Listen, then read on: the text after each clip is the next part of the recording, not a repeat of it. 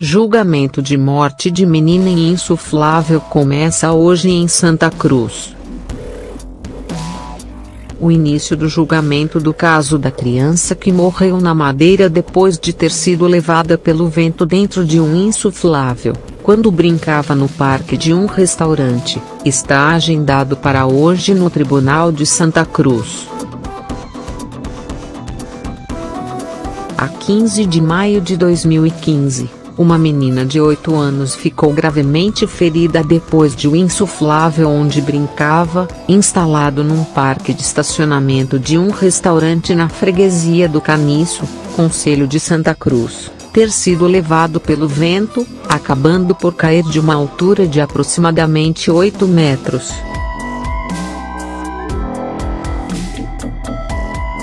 A criança esteve internada nos cuidados intensivos do Hospital Dr. Nélio Mendonça, no Funchal, mas não resistiu aos ferimentos e morreu no dia seguinte.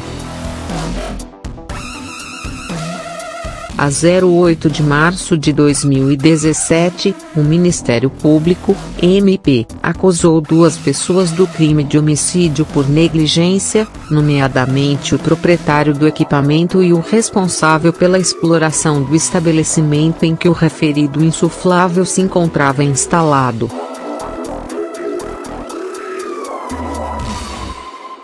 A acusação diz que o equipamento estava instalado no parque de estacionamento de um restaurante, cito num planalto, e que não cumpria as regras de segurança e não era destinado a espaços exteriores.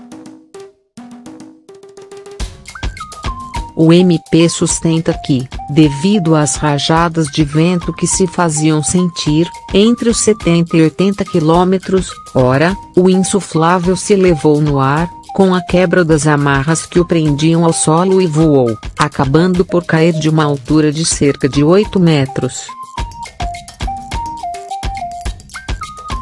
A investigação deste caso foi dirigida pelo MP da instância local de Santa Cruz, da comarca da Madeira, zona leste da ilha.